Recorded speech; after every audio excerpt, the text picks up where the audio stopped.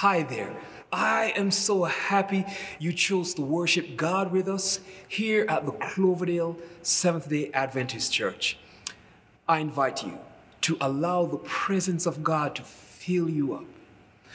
Also, if you are desiring to support the cause of Christ uh, through your kind generosity, or maybe you have some questions, please feel free to visit our website at cloverdale.org. Good morning, everyone. It's great to be here with all of you.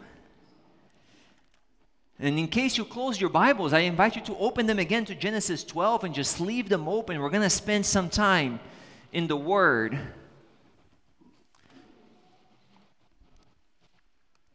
Review a story that's familiar to many and perhaps discover a few new insights as we do so.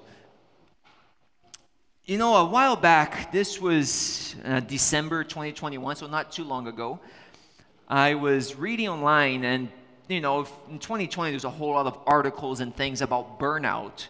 And I was just reading up on it and trying to figure this out. And, and there was this one, I don't even know if it's an article, it's, it's like a, a blog post, a short one, but it was really interesting. And I have a link to the whole thing on my blog, prmarlon.com. So afterwards, I don't have it up now because I don't want you to get distracted. But after I'm done preaching, it's going to be up. There's links and notes to everything I'll be sharing here. Um, but there was this interesting line in that post that said, Most of us aren't actually burned out. It said, We're bored. We're not overburdened, we're under challenged. Our potential isn't being incinerated, it's going untapped. That made me wonder is this person onto something or is he just way out there? Because I know there's people in different situations and going through different things, but I was thinking about it. 2020 was a year where we spent a lot of time indoors, closed off, and separated from one another. And then 2021 didn't get a whole lot better. So could it be just fatigue from you know this routine of being indoors in front of a screen the whole time? Could he be onto something? Could it be that I'm not overburdened, I'm just under challenged? Could it be that I'm bored because my potential is going untapped? Could it be that the answer is not more relaxation, but rather a meaningful challenge? I say this because, you know, just last Sabbath we had our ministries fair and it was amazing. I was blown away by the creativity of our ministry leaders. Pastor Jason did an amazing job helping organize, and you guys did great with the booths and everything. And you know, it's amazing to see at once all the different ministries we have going on. Last Sunday, I had the privilege of being involved with the car ministry. You see, I received a, a, text message from someone who's not even a member of our church, but they knew about this ministry. And, and a friend of a friend knew this person who was an immigrant in this country, didn't really speak English fluently, had been going through a rough time, had just gone through a divorce, had had a death in the family, and then their car broke down. And this person was just like, everything is going wrong in their life. Is there anything that Cloverdale Church can do for this person? And I went there to talk with the person, and we went over to uh, the Cars Ministries, and, and I'm so grateful for the men in this church who know about cars because I don't. And they put the car up and they're looking under there and talking, and I'm trying to translate and listening to this person's life story. And, and in the end, I was just so happy to be part of a church that can take someone with real needs and meet those needs to the best of our abilities and that person was texting me throughout the week, just thanking me, just randomly, you know, saying it worked and my car passes the emissions test and this thing that used to be a problem is no longer a problem. Whatever you guys did, it helped and thank you so much. I had gone through three mechanics, they couldn't figure it out and all of this. And I was just thinking, praise the Lord. I didn't even do anything. I was there just talking to her, you know. So, so thank you for the Cars Ministries. Those of you who are involved in it, those of you who donate to it, and I was just thinking, what if this is what we need more of. People stepping out of their comfort zone, giving up their Sundays. I mean, people were already busy all week, but then they take a Sunday say, This Sunday, I'm just going to help people who are in need. And the same goes for the children's ministries, as I mentioned earlier. If you want an adventure, work with children. It'll challenge you, they'll push all of your buttons, but you will grow as a person.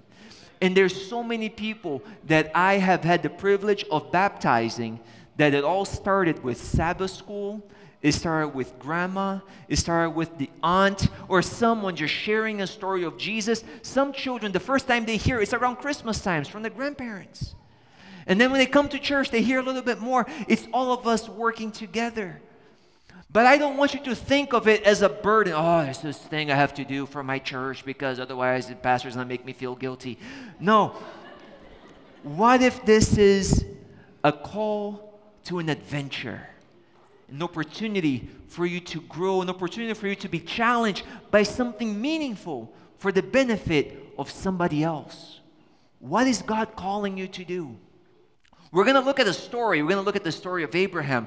But as we're looking through the story, I want you to think about your own life and start praying. What is God calling me to do? What's the adventure? And I know some of you have already signed up for different ministries. I know many of you here are, are ministry leaders and you're already involved. And if you're not, it's not too late. You can still get involved. But start thinking, even with the ministry that's already established, what can we do?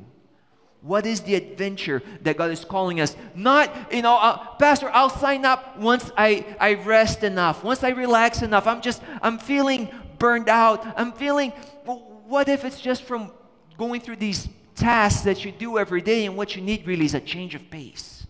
A new challenge, something meaningful. Just start thinking about it and praying about it. As a matter of fact, let's pray right now, Heavenly Father, as we get ready to study the Bible.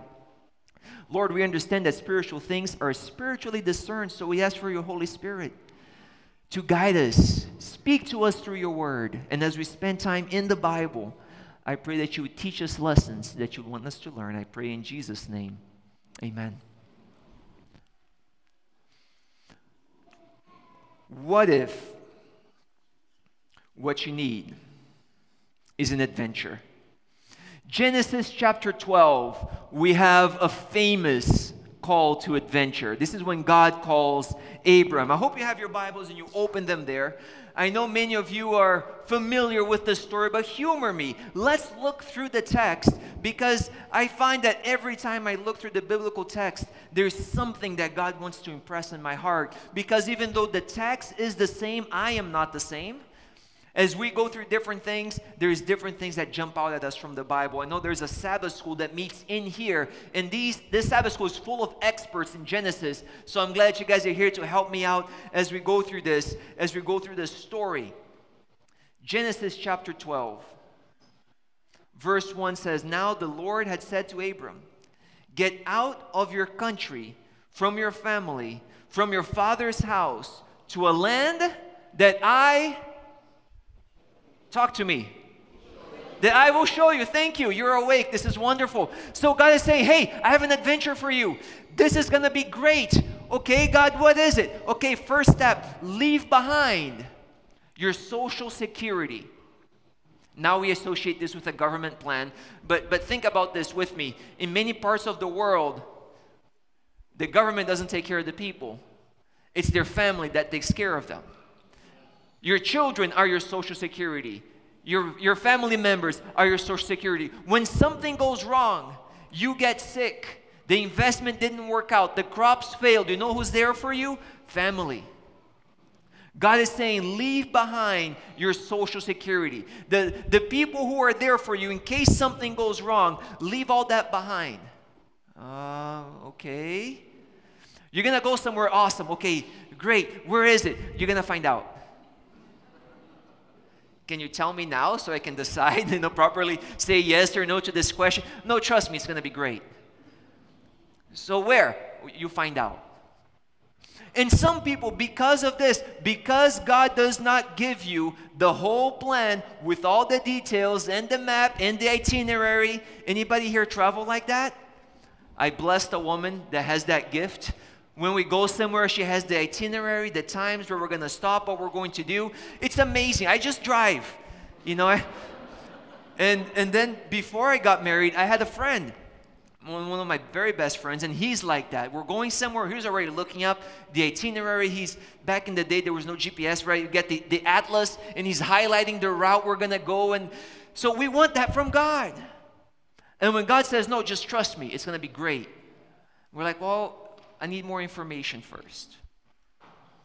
But is it fair to require that of God when we're willing to take that step in so many areas of our life? For example, if anybody here is in college, when you start your major, you have no idea how it's going to go. Or even if you'll be able to find a job in the end. And even worse, if the job will be worth whatever you're going into debt for to get the degree. You, it's an adventure, right? You start and you hope for the best. And then, same thing with a career. So many people, I have a lot of friends that graduated, started their career, and realized it's not what they wanted and they're doing something completely unrelated to their degree now. But it's part of the adventure. If we're willing to take those steps in career, in our education, in relationships, why not take that step by faith when God is calling us? And maybe you have, maybe what happens is you feel this burden for a problem. You see this problem, you notice the problem, you say somebody should do something, and you start thinking maybe this would be able to help. Maybe this would, you know, help people in this situation. Maybe, and if I could get a few more, what if this is God calling you for this adventure? But you're afraid because you already feel tired. You already feel exhausted. Every morning you get up and it's hard to get out of bed, and you go to bed and it's hard to fall asleep. What if what you need is a challenge, something to be passionate about, excited about. It's not because you have all the free time in the world. It's not because you're full of energy and have nothing to do. It's because you need something meaningful to apply yourself to, something that will challenge you for the benefit of somebody else. Let me tell you, those of you who are ministry leaders, those of you who signed up for ministries last week, those of you who are here for the first time and now you're getting excited about ministry, let me tell you ahead of time, it's not going to be easy. But adventures are not meant to be easy, they're meant to be worth it. So let's get back to the story. God is calling him, leave behind all of these things.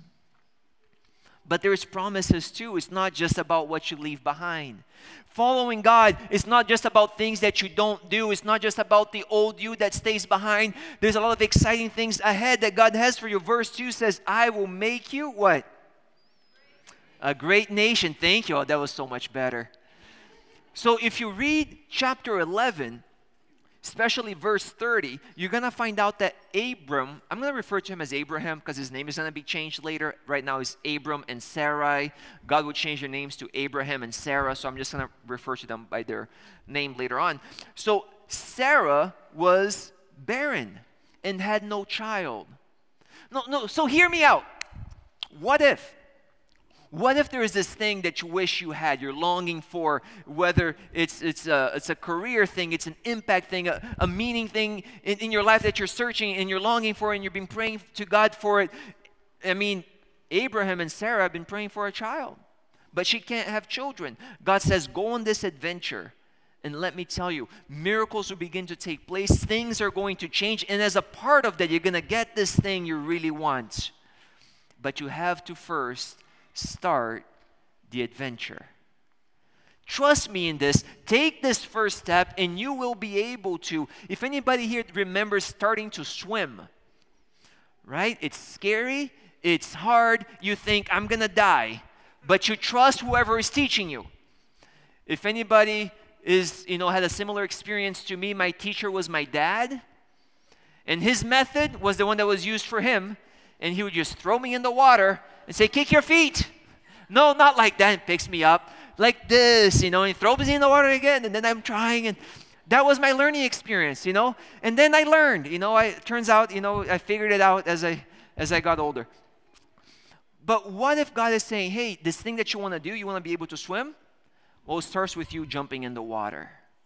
You want to be able to find like this exciting, meaningful thing where you're having a positive impact in the lives of others. It starts with you trying. And let me tell you, you're going to make some mistakes. And I've made my fair share. And let me tell you ahead of time, full transparency, I, I have intentions of making many more mistakes as I'm figuring things out. I promise to never make a mistake on purpose. And I promise to not err in the side of not doing anything. I came here to try things, and we're gonna do this together. And we're gonna make mistakes, and we're gonna learn from those mistakes, and things are gonna get better. And I give you permission to make mistakes as long as you're aiming for something worthwhile. Try new things. We're still figuring things out, and, and if you've been coming here for a while, you know this. We've got the building renovated and it looks great, but there's still things that we're figuring out and we're getting better, and, and that's how we improve. We try. And you, you take that first step, and, they, and God is saying to Abraham, Hey, I'm going to make you a great nation, and I will bless you. You see, that's the amazing thing when God calls us to adventure, He says, I'm going to take care of you. But Lord, I don't understand all the steps. He says, It's okay. It's going to be okay. Take the first step and watch what happens. Start this adventure and see how I'm going to bless you and take care of you and provide for you. I will make your name great. You know what's really interesting? Right next to that, I put a little mark with my pencil. I wrote 11 4, a reference to Genesis 11, chapter 11, verse 4 where it's the story of the Tower of Babel, and it says, The people said, Come, let us build ourselves a city, a tower whose top is in the heavens. Let us make a name for ourselves. In trying to make a name for themselves, they're going against the will of God, rebellion. I don't want to preach a sermon on chapter 11. By the way, I have a blog post on that. I'll share a link later on our Facebook page for the Cloverdale Church. But so you, you can study that if you want. But so there's several things going wrong, but the, the main motivator was they wanted to make a name for themselves. And that's not the way that it works. You see, the way that it works is you go in an adventure for God, and God makes your name great. Not for yourself, but because of what you're doing for others. You know, we've had a few memorial services here in our church recently. And it's amazing to come to those. And they're available on our live stream, so you can go back and take a look at them. And then you hear about people and the great things that they did. And you're going to find out that the majority, if not all of those things, were always selfless acts for the benefit of somebody else. You make a name for yourself by going with God on this adventure and putting yourself out there for the benefit of somebody else. That's what our world needs. That's what our community needs. That's what our church should be all about. And it's already happening.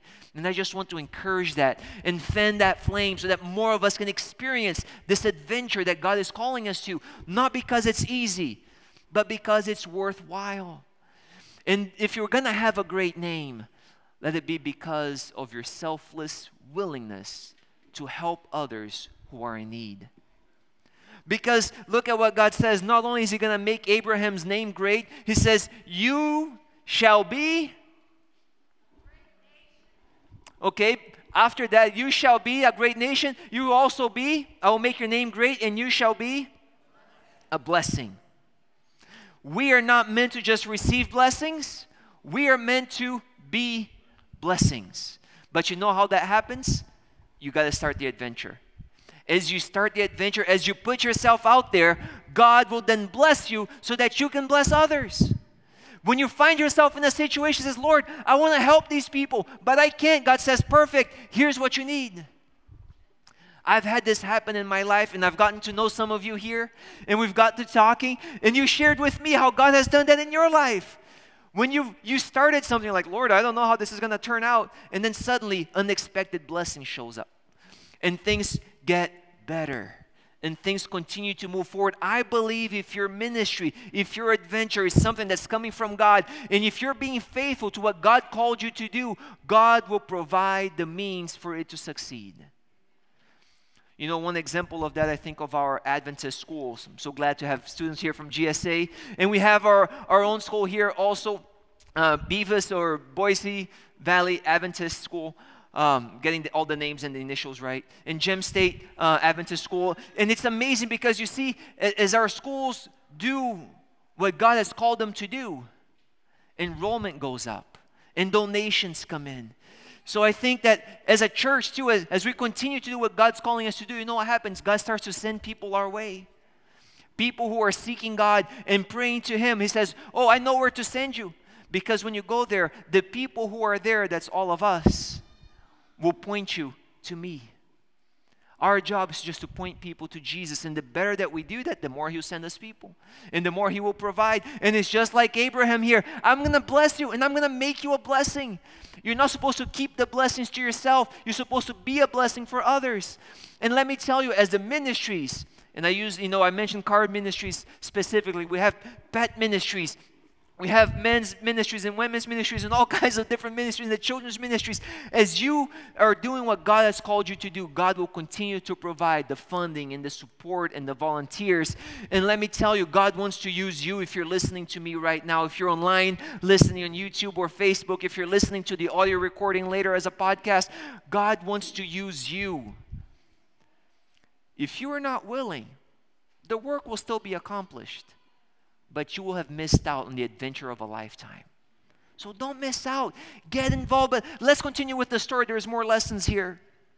Verse 3 this amazing thing as you partner with God, look at what God does. God says, I will bless those who bless you, which means as you go about your mission, and people help you, they donate, they volunteer, they, they join in, they, they partner with you in your ministry, they receive a blessing too.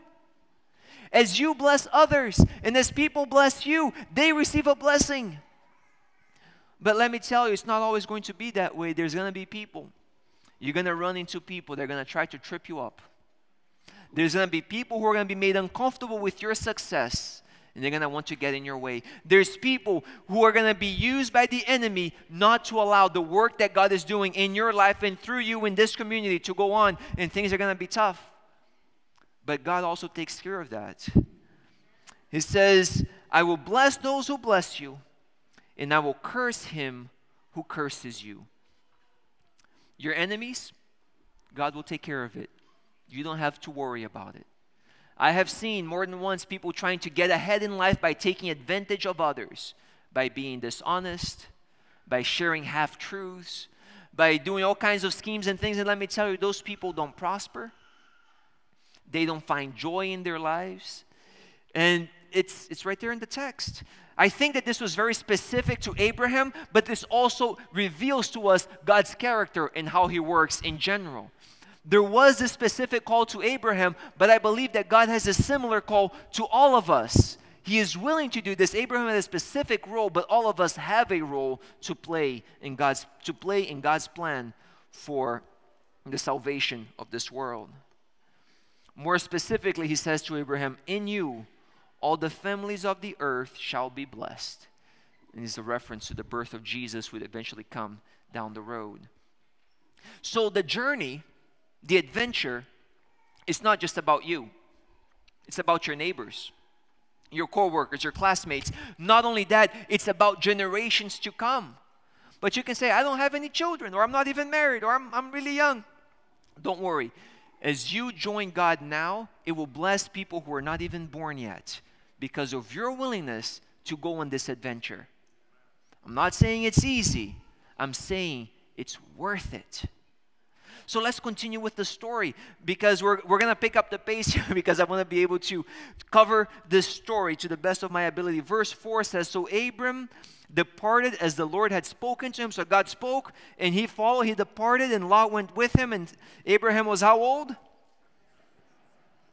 75. I'm not going to ask you to raise your hands.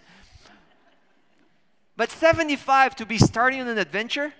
Like now you want me to leave behind my social security? Now you want me to start something new? Now, it's when God called, right?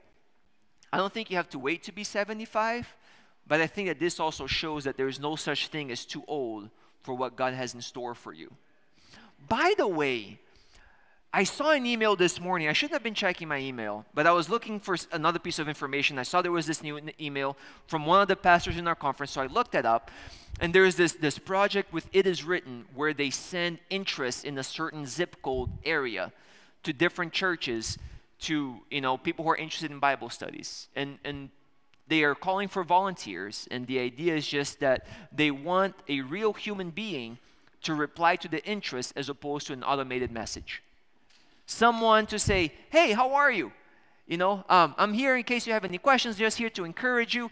And a lot of this thing is done by mail, through email, uh, voicemail, text messages, emails. You know, it's very little of it is actual personal contact, even though there are some people who are open to that. Many are a little bit careful because of COVID. And I was thinking, would Cloverdale be interested in being a part of this? Thank you. Because let me tell you, Pastor and Jason and I couldn't possibly answer to all of these requests. But if you're interested, and this is something I think you need like a phone and access to the internet, and you can be a human person encouraging someone who's interested in Bible studies. You don't even have to give them all the answers. You don't have to give them the study. You just have to be that person encouraging them as they take the studies online. So I'll have more information for that. Keep an eye open and thank you for the yes. But I'm telling you, God is needing just he says the harvest is plentiful. The issue is that the laborers are few. And if we are willing, there's an adventure waiting for us. Something that will challenge us and excite us and then cause good to happen in the lives of others around us. Quick story before uh, I promise we're gonna we're gonna get to it. I got to baptize a lady before moving here back in Georgia, and she's just the, the sweetest lady, and I think she was in her 70s, if I'm not mistaken. I'm not sure if it was 75, but in her 70s. Listened to her and she told me her story. You know, when she first found out about God, she was a teenager. She was 14, I believe. A friend of hers was Pentecostal, and there was a revival at her church. She invited her, she went with her. She went there for it was a, a week of revival. At the end, the pastor made an appeal for baptism. She felt impressed. She went and got baptized when she got baptized, she felt something. She was lighter, and there was just this joy in her heart. But she had no idea about sin and Jesus and these different things. She didn't really understand a lot that was going on. So she was curious to learn more about the Bible. And she found a magazine and she was flipping through. And then there was a thing for Bible studies through correspondence. And she started. Those Bible studies were through one of our Adventist ministries. She found out about Jesus, about the second coming, about the sanctuary, about prophecy, all these things. But her parents never went to church, and for years she moved from church to church to church to church. In her 70s, she's listening to the radio. She came across an Adventist radio station. She heard about the Sabbath, she heard about prophecies, and it reminded her of the Bible study she had when she was a child. I had the privilege of baptizing her, but she was really baptized because of someone who was giving her Bible studies through correspondence. You never know how long it's going to take or what journey, but if you're willing to be a part of that, God is going to use you to touch a life for eternity. The question is, are you willing to go on this adventure? It's going to take time, it's going to take effort. We're going to have a training, it's going to be available through Zoom for this specific thing. Um, so if you're interested, we want to equip you, but you have to be committed. You have to be willing to go on this adventure for the benefit of somebody else. Not because you have so much extra time in your life, but because you're open to a challenge, to an adventure, to something that's worthwhile. You know, Abraham starts this journey. In verse 7, it says, The Lord appeared to him. And now God adds on to the blessings, right? He had promised to make him a great nation. He had promised him, you know, to bless him and make him a blessing. But verse 7, there's more details. The Lord appeared to Abraham and said, To your descendants, I will give this land. And there he built an altar to the Lord who had appeared to him. So as he goes on the journey, God reveals to him more things. By the way, this land is going to belong to your descendants. Meaning, your choices right now about serving God and being faithful to God will benefit people to come behind you. And by the way, we're only here standing on this renewed and beautiful sanctuary because generations before us worked so hard to have this place built because people have been volunteering and sacrificing and working hard for generations for us to be here. And then we get to contribute for the next generations that will come after us. And as you go on this adventure, God opens your eyes and reveals more to you. And it's interesting that Abraham builds an altar because an altar is where what takes place? Sacrifice. But Abraham is not reluctant, he's excited about the sacrifice because God is with him and God is doing things for him. And he's more than happy to sacrifice because it's worthwhile. It's not comfortable, it's not easy. It's the right thing. It's worth it. So Abraham is gladly building these altars, he's making sacrifice, and as he's going around, this also stays as a witness for generations to come, for people to come after him. It's so important for us to share what God is doing in our lives so that those who are coming after us, those who are around us, can be aware of the blessings. Raising up these pillars, making these sacrifices so that people know and we ourselves find out I must really believe this because I'm putting all this effort into it. I must really believe this because I'm putting all this time into it. I must really believe this because I'm trying to learn something completely new out of my comfort zone. I guess I really believe in God. And you will, your faith will grow because your actions are following what you claim to believe. But we're going to go into a challenge. Verse 10 in the story of Genesis chapter 12 says, Now there was a what?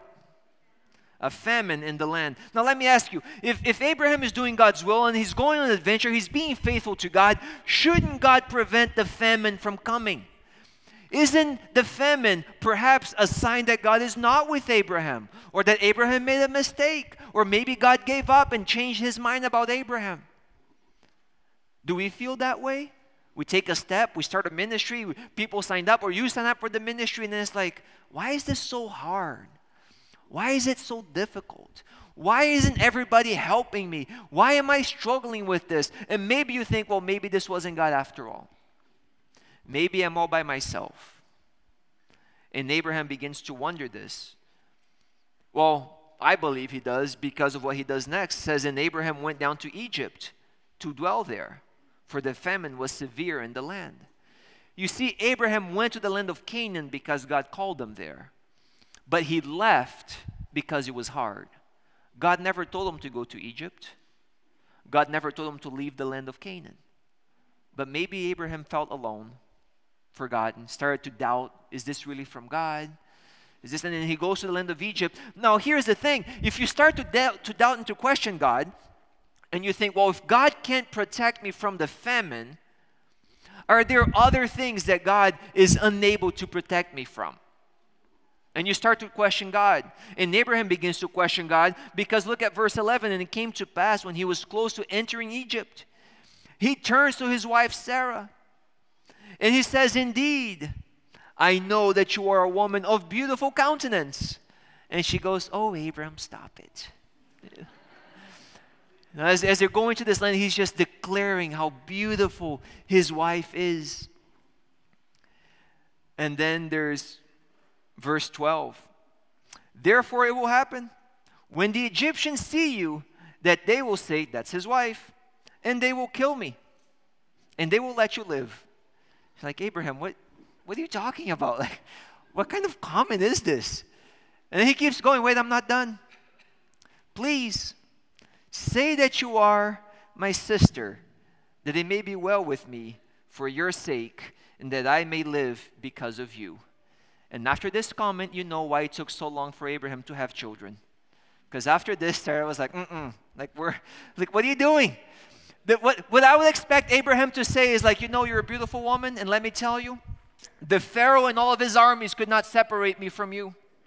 I will die fighting for your love. I will never let you go. But the hero of the story is saying, honey, you're so beautiful. I love you. Please lie about our marriage so that nobody kills me. Really, Abraham? Is this? And by the way, if I was writing the Bible, right, like, oh, this is the story of one of the founding fathers of our faith, I'm going to skip this part, you know, just not put it in there. Kind of embarrassing. And another interesting thing, you know, we see in verse 4 that Abraham was um, 75 years old. I put a little note there in the margin in my Bible. I wrote 1717 because this is when we find out that Abraham is 100. He says, I'm 100 years old and my wife is 90. So we see there is roughly 10 years there of difference. So Sarah's going to be in her 60s. And he's concerned about how beautiful she is. And for me, this just says there's a b- different approach to, to beauty. And I love this idea that, you know, that we, we reach our peak in our 60s and not you know when you're really young but rather like this she, she has you know she, this is this is a beautiful woman and the, you know the fresh air and the exercise has been good to her and they're they're out there and the egyptians they see her and turns out abraham was you know apparently he wasn't exaggerating Verse 14 it was when Abraham came into Egypt that the Egyptians saw the woman that she was very beautiful. And the princes of Pharaoh saw her and commended her to Pharaoh. And the woman was taken to Pharaoh's house. Now, the interesting thing is verse 16. And the Pharaoh treated Abraham well for her sake. And he had sheep and oxen and male donkeys and female, uh, and male donkeys and male and female servants and male and female donkeys and camels. Imagine Sarah. Not only is she taken now to the house of Pharaoh, her husband is getting rich from this thing. Man, she, she's probably say Abraham better not. Uh, anyway, so so this is happening, and I wonder if it doesn't make Abraham feel like he made a right choice. Sure, I lied a little bit, but I got rich from it. Sure, I mean, God made a promise, but it was to me, right? I mean, that doesn't include my spouse, does it? Does God plan for my life include my spouse, my family? Does God value marriage? Does God value women? Because you might read the story and be like, look, you know, God doesn't care about Abraham's marriage. God doesn't care about Abraham's wife. And except that it's not God doing these things, it's Abraham. Abraham is a man of his time.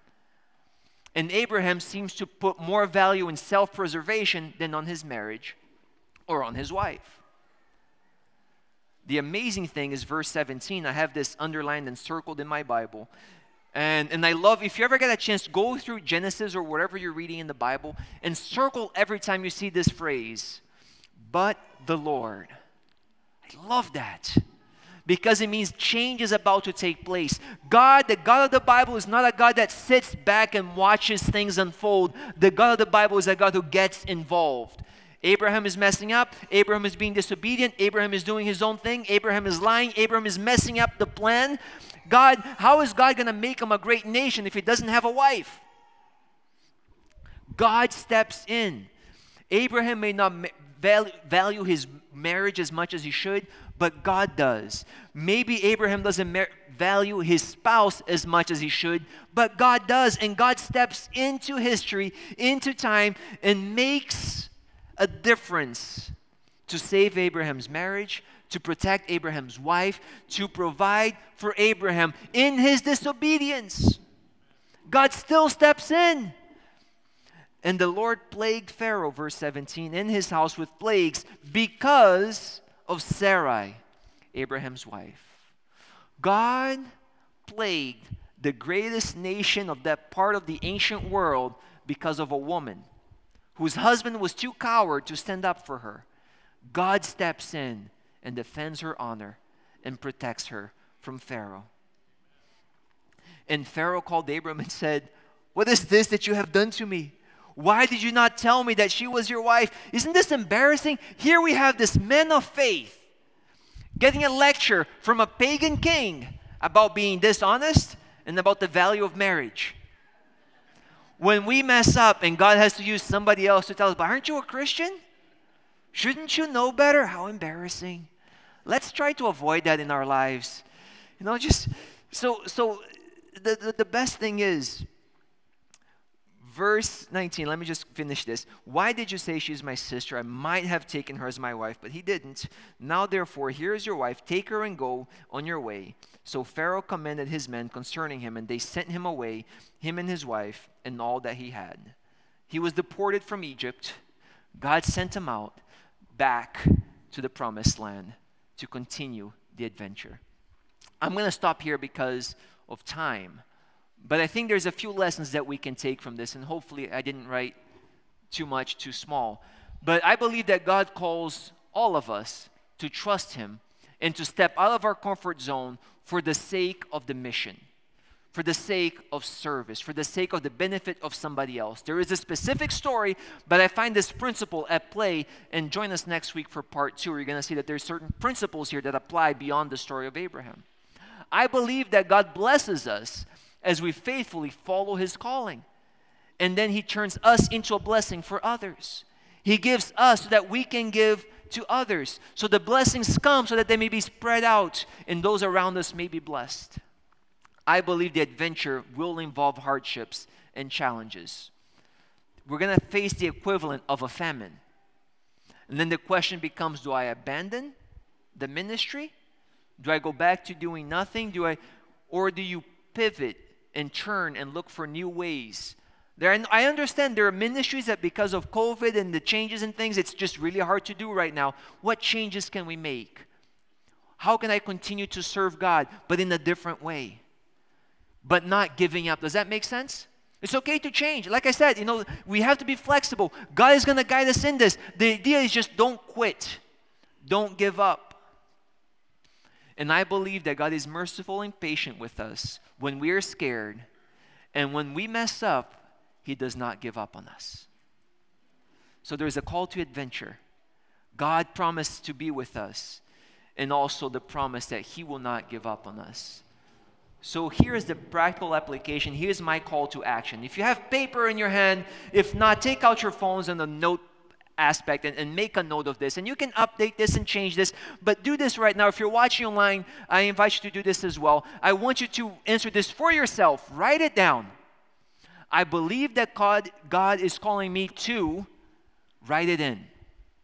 And you can, you know, make this better as, as time goes on, but write something down right now. What is it that God's calling you to do? Even if it's just a fuzzy notion right now, you're going to make it clear later on. What is it that God's calling you to do? Write it down. And here's this next part, and I need you to take this challenge this week. The first step I'll take in that direction this week is, and this could be to contact someone, to send an email, to sit down and figure out the plan. What are you going to do this week? Maybe you signed up for some ministries. Contact the ministry leader. Hey, I'm here. Can we get together? What's the plan? Let's work on this together. But do something and do it this week. Don't let it go by because you're too busy. I know. And, and, and I don't want you to miss this opportunity. Right now is my chance to make you uncomfortable. Right now is my chance to, you know, just make this decision. What is it that God's calling you to do? Write it down. What are you going to do this week as a step towards that? Write it down. And if you're willing to give this a try, to embark on this adventure with God, and you would like to pray about it, I invite you to stand so that we can pray about God's plan for our lives, for our church, so that we can impact our communities for Him.